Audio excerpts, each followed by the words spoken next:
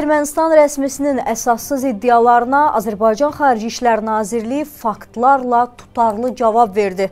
Bu barədə az sonra ətraflı məlumat verəcəyik dərli izləyicilərimiz. Hər vaxtınız xeyr olsun. Saat 12 buraxılışı ilə studiyada Səbinə Qafarovadır. Əvvəlcə saatın əsas xəbər başlıqlarına nəzər salaq.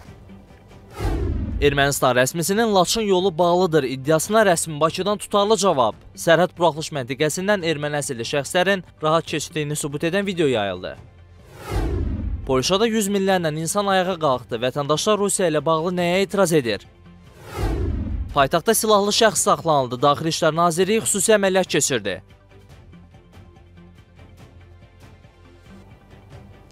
Sülh danışıqlarının getdiyi bir vaxtda Ermənistanın Təhlükəsizlik Şurasının katibi Armen Qriqoryan yenə də təxribat xarakterli açıqlamalar verib.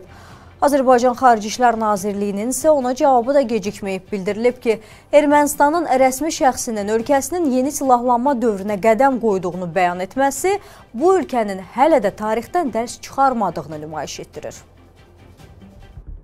Ermənistanın Təhlükəsizlik Şurasının katibi Armen Qriqoryanın ictimai televiziyaya müsahibəsi zamanı növbəti dəfə bir sıra istiqamətlərdə məsələlərin mahiyyətini təhrif etməsi, Ermənistanın üzərinə götürdüyü öhdəliklərdən yayınmaqla həm beynəlxalq ictimaiyyət arasında, həm də Ermənistan cəmiyyətində çaşqınlıq yaratması cəhdləri qəbul edilməzdir. Rəsmi Bakının Armen Qriqoryanın müsahibə zamanı səsləndirdiyi iddialara dair şərhində belə deyilir. Qeyd olunub ki, həm Praqa, həm də Soçi görüşü üzrə bəyanatlara əsasən delimitasiyanın ərazi bütövlüyünün və suverenliyin qarşılıqlı tanınması əsasında həyata keçirilməsi nəzərdə tutulub. Ümumiyyətlə, bu bəyanatlarda BMT nizamnaməsinə və Alma-Ata bəyannaməsinə istinad qeyd edilən prinsiplər kontekstində verilib.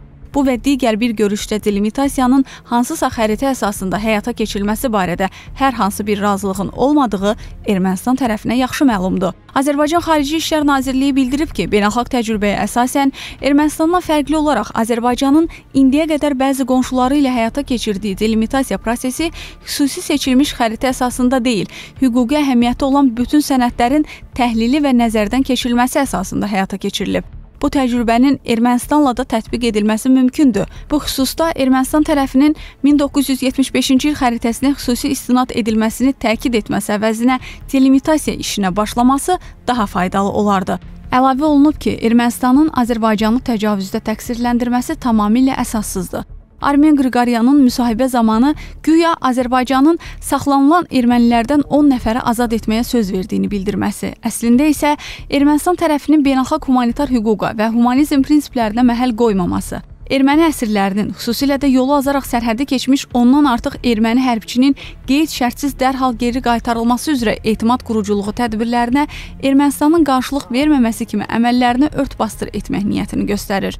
Qarşı tərəfin üç tərəfli bəyanatın 9-cu bəndinə zidd olaraq hələ də Azərbaycanın qərb rayonları və Naxçıvan Muxtar Respublikası arasında nəqliyyat əlaqəsini bərpa etməməsi, müxtəlif bəhanələrlə prosesi uzatması, yeni nəqliyyat kommunikasiyalarının inşasını təmin etmək əvəzinə siyasi polemikaya yol açması Ermənistanın prosesə maneçiliyinin bariz nümunəsidir. Laçın sərhəd buraxılış məntəqəsindən gün ərzində onlarla erməni sakinləri müvafiq prosedurlara əməl etməklə hər iki istiqamətdə sərbəst şəkildə keçməsini həzm edə bilməyən Ermənistan rəsmisinin Laçın yolunun bağlanmasını iddia etməsi gülüncdür.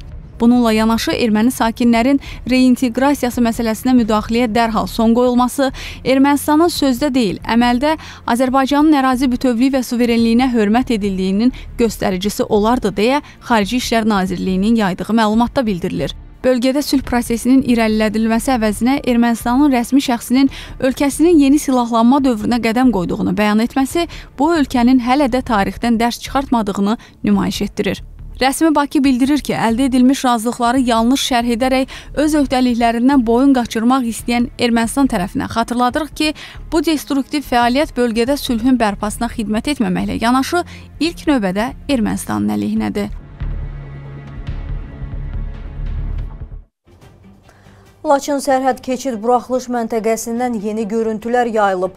Xankəndi Gorus istiqamətində hərəkət edən mülki ermənilərin dövlət sərhəd buraxılış məntəqəsində rəsmiləşdirilməsi həyata keçirilir. Bununla da ermənilərin blokada və etnik təmizləmə ilə bağlı söylədiyi yalanlar növbəti dəfə ifşa olunub.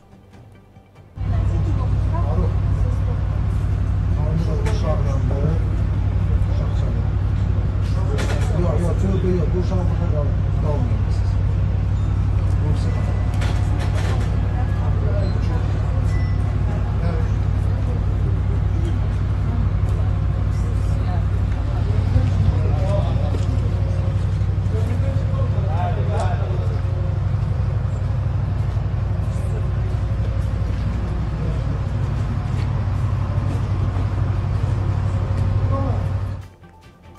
İsveçin NATO-ya üzvlük məsələsi Rəcəb Tayyib Ərdoğanla təşkilatın baş katibi arasında müzakirə olunub.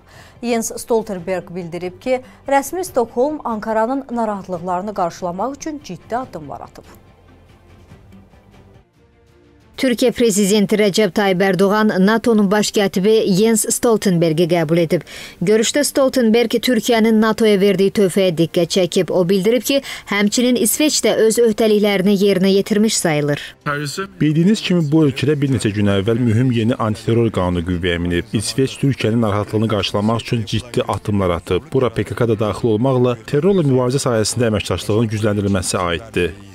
Stoltenbergin sözlərinə görə İsveçdə keçirilən nümayişlərin təşkilatçıları ölkənin NATO-ya üzv olmasına mane olmağa çalışırlar. İsveç üzərinə götürdüyü öhdəlikləri yerinə yetirib, konkret addımlar atılıb, qanunlar dəyişdirilib. Etiraf edirəm ki, İsveçdəki nümayişlər çətinliklər yaradıb. Sərbəst toplaşmaq azadlığı və ifadə azadlığı qorunmalı, ona hörmət edilməlidir. Lakin bu nümayişlərin təşkilatçıları İsveçin NATO-ya üzv olmasına mane olmağa çalışırlar. Stoltenberg həmçinin qeyd edib ki, prezident Ərdoğanla görüşdə İsveçlə daimi müştərək mexanizmin növbəti görüşünün iyunun 12-sində keçirilməsi ilə bağlı razılıq əldə olunub. Macarıstanın baş naziri Türkiyədə keçirilən prezident seçkilərinin nəticəsi barədə danışıb. Viktor Orbanın sözlərinə görə, əgər Ərdoğan qalib gəlməsəydi, Türkiyə prezidenti müharibəni təbliğ edən bir şəxs olardı. Türkiyə prezidenti Rəcəb Tayyib Ərdoğan əvvəllər taxıl müqaviləsi ilə bağlı olduğu kimi Ukrayna münaqişəsinin həllində də vasitəçi kimi çıxış edə bilər. Bunu Macarıstanın baş naziri Viktor Orban deyib. O qeyd edib ki, iyunun 3-də Ankarada seçkilərdə qalib gələn Ərdoğanın and içmə mərasimində iştirak edib. Prezident Ərdoğanın qələbəsi onun sülhsevər mövqeyini nəzərə alsaq, bizə əlavə bir nəfəs kimi lazım idi. Əgər o qalib gələ bilməsəydi, Türkiyə prezidentliyində müharibəni təbliğ edən bir şəxs olar və bunun nəticəsində nəticələri gözlənilməz olardı. Türkiyə prezidentinin taxıl tədarükü böhranı ilə bağlı etdiyi kimi Ukraynalılarla Rusiyalılar arasında da vasitəçilik etmək şansı var deyə Orban Ərdoğanın andiçmə mərasiminin videosunu Twitterdə yerləşdirərək yazıb. Xatırladaq ki, daha əvvəl Macarıstanın baş naziri Türkiyədə keçirilən prezident seçkisində Rəcəb Tayyib Ərdoğanın qələbəsi üçün çoxlu dua etdiyini bildirmişdi. Onun sözlərinə görə Millət İttifaqından prezidentliyə namizəd Cümhuriyyət Xalq Partiyasının sədri Kamal Kılıçdaroğlu qalib gəlsəydi, milyonlarla qaçqın Avropaya axışacaqdı və Rusiyada Macaristana qaz nəqlində problemlər yaranacaqdı. Bir ildən çoxdur ki, davam edən Rusiya-Ukrayna müharibəsinin nə vaxt bitəcəyi sual altındadır. Kremlin sözcüsü Dmitri Peskov bu barədə danışıb. O bildirib ki, hərbi əməliyyatların alternativi yoxdur. Rusiya Ukraynada apardığı hərbi əməliyyatları sona dək davam etdirməlidir və bunun alternativi yoxdur. Bu sözləri Rusiya prezidentinin mətbuat katibi Dmitri Peskov Rusiya 1 telekanalının efirində yayımlanan Moskva Kreml Putin proqramında Ukrayna ətrafındakı vəziyyətlə bağlı danışarkən deyib: "Biz işimizi bilməliyik, işimizi görməliyik və işimizi sona qədər bitirməliyik. Bizim başqa alternativimiz yoxdur" deyə Rusiya prezidentinin mətbuat katibi bəyan edib. Ukrayna ordusu Luqanskda əks hücuma keçib. Məlumata görə Svyatova şəhəri istiqamətində ordu 400 metr irəliləməyi bacarıb. Baxmutda isə şəhərin böyük hissəsi ruslar tərəfindən ələ keçirildiyindən Ukrayna silahlı qüvvələri cinahlarda irəliləyir.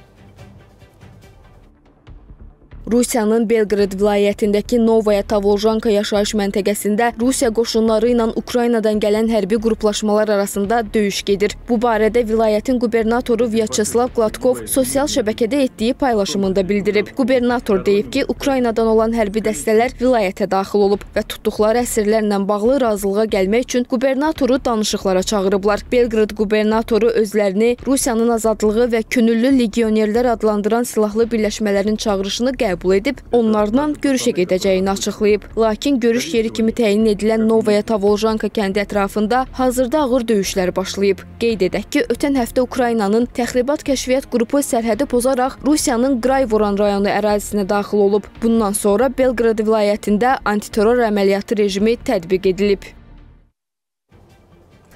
Polşada yüz minlərlə insan etiraza qalxıb. Keçmiş baş nazir Donald Tusk'ın hərəkatının təşkil etdiyi aksiyada yarım milyondan çox insan küçələrə axışıb. Polşalıların narazılığına səbəb nədir? Sıradakı sujetimizdə.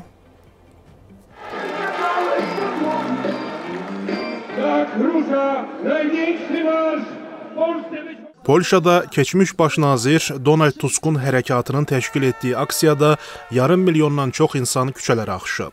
Etirazlara səbəb prezident Andrzej Dudanın təşəbbüsü ilə iyunun 2-sində qəbul edilmiş və istənilən şəxsin dindirilməsinə imkan verən Rusiyanın təsiri haqqında qanun olub.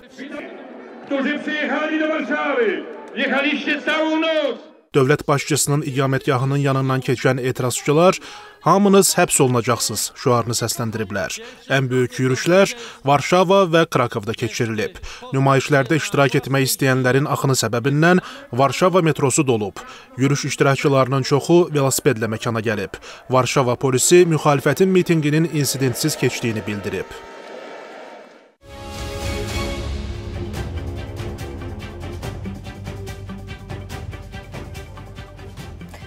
Davam edirik. Mübahisə edən şəxsləri ayırmaq istəyərkən 7-si polis əməkdaşı olmaqla 11 nəfər yaralanıb.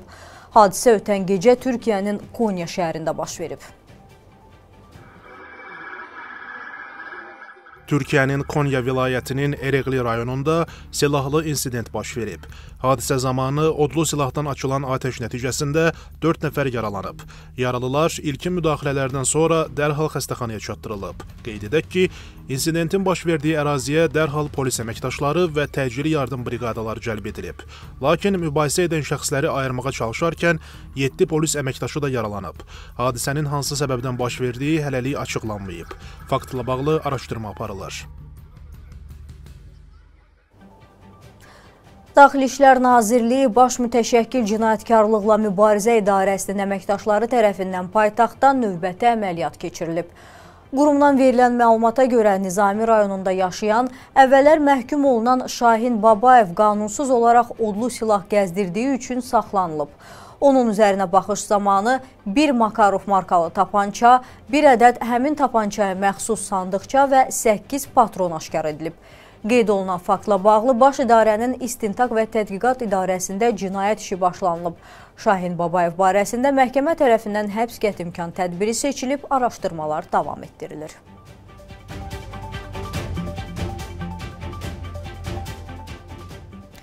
Fövqəladə Hallar Nazirliyinə paytaxtın Sabunçu rayonunda hərbi sursatın aşkarlanması barədə məlumat daxil olub.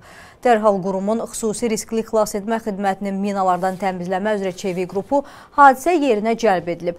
Baxış zamanı aşkarlanan sursatın döyüş tədbiqinə yararlı bir F1 əl qumbarası, 136 ədəd patron olduğu müəyyən edilib. Sursatlar zərərsizləşdirilməsi üçün ərazidən götürülərək kənarlaşdırılıb.